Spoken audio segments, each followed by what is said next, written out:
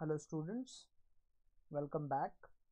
In the last session, we have discussed glass box testing technique. In today's session, we will discuss black box testing. Black box testing is a testing technique which is based on exploring paths through the specification. So let's start with black box testing. Black box testing is a top software testing method in which the functionalities of software applications are tested without having knowledge of internal code structure, implementation details and internal parts. In case of black box testing, the tester may not have the knowledge of uh, internal code structure, implementation or internal parts. So black box testing it is mainly based on the functionality of a software. Black box tests are constructed without looking at the code to be tested. Unlike uh, the white box testing, where the test cases are constructed by looking at the code in the software, in black box testing, the tests are constructed without looking at the code to be tested. Black box testing allows testers and implementers to be drawn from separate population. In white box testing, uh, the tester and implementer should be the same because the tester should have the knowledge of code to be tested. But in case of black box testing, tester uh, should not be should not have the knowledge of internal code and that is the reason the tester and implementer can be drawn from a separate population in case of black box testing. Both of them can be different. Developer may develop the code and the tester may test it separately. Developers of commercial software uh, often have quality assurance groups that are largely independent of development groups. In commercial software development, they have a separate group of people uh, to test the software and they call it as quality assurance group that are largely independent of the development groups. If you look at the diagram here, which explains the black box testing, where tester only concentrates on the input or set of inputs and the output which is generated by the uh, code. Whereas the internal structure of the code to be tested it is not known to the tester.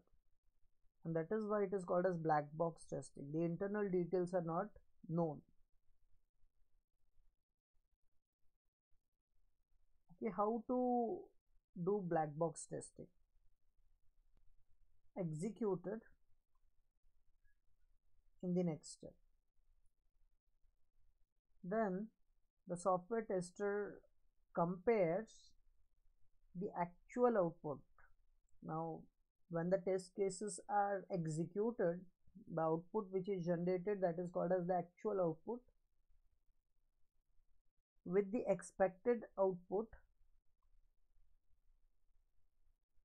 which the tester has already determined in the previous step the expected output. So the actual output is compared with the expected output. If actual output and expected output are same then it means the test is successful or test has been passed. Otherwise if actual output and the expected output are not same that means there is some problem in the uh, code. And if there is any problem in the code that needs to be fixed and tested so defects if there are any defects if any are fixed in the next step and it is retested.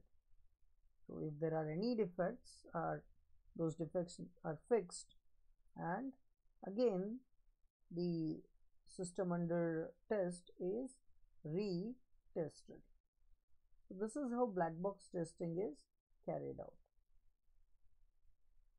Okay there are different types of black box testing.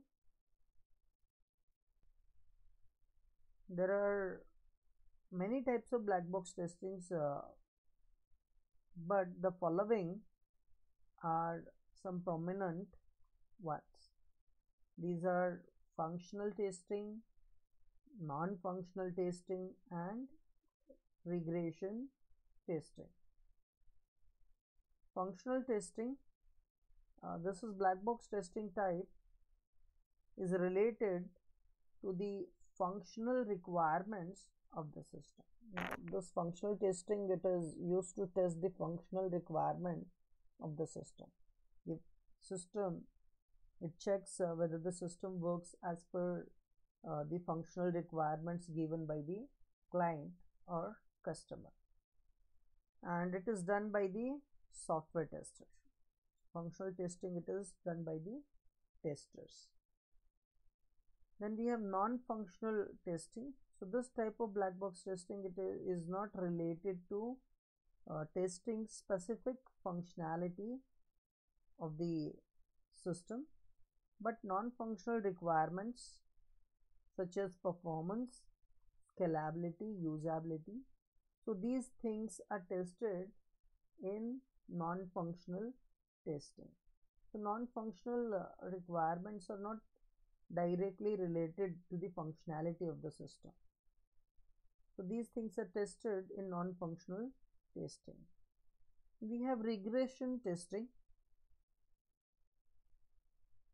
Regression testing is done after code fixes upgrades or any other system maintenance to check the new code has not affected the existing code. So regression testing it is usually done after code fixes. If we have done any modification in the previous code so after those modifications the regression testing is done.